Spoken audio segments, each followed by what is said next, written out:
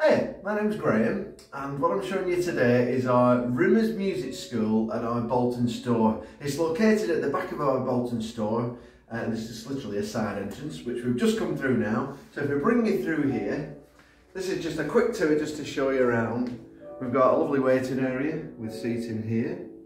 If I just take you around here into our drum studio, because we can teach you how to play at Rimmers Music, we can teach you drums, guitar, bass guitar, keyboard, piano, and we can teach you vocals as well. So if I just move you back, thanks James. If you just come this way, this is one of our other studios for guitar and bass. They're all purpose built and they're all soundproofed. We have all the equipment here as well, so you don't need to bring your own equipment, but if you want to, you can. It's up to you. Lots of people do bring particularly their own guitars because they want the guitar teachers to have a look at it with them and make sure they set it up right. Come on in here.